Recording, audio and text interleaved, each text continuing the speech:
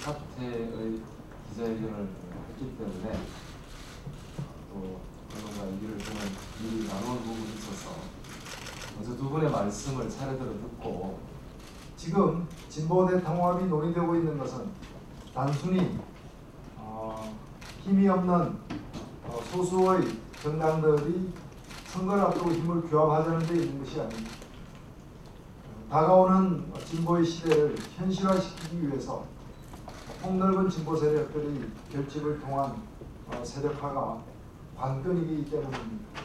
바로 그렇기 때문에 진보신당 당대에서 엊그제 비록 통합안이 부결되긴 했지만 그것으로 어, 지금 진행 중인 진보대 통합이 좌초되거나 어, 흐트러져서는 안 될 것이라고 생각합니다.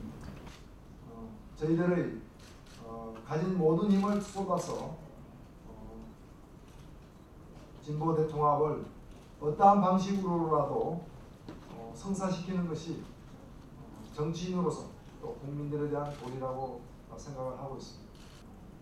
진보적인 신념을 갖고 있어도 정치적이지 못하면 국민들에게 책임질 수 없음을 우리는 절감해 왔습니다.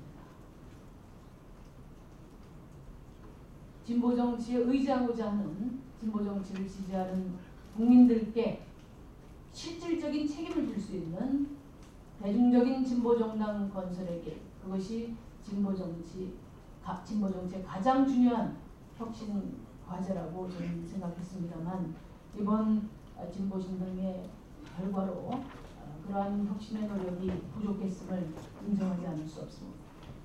그럼에도 불구하고 새로운 통합 진보 정당의 건설을 건설은 중단 없이 추진될 것입니다.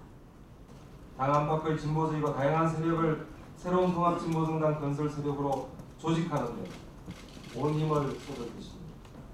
우선 그렇게 하기 위한 조직적 방안을 강구할 것입니다.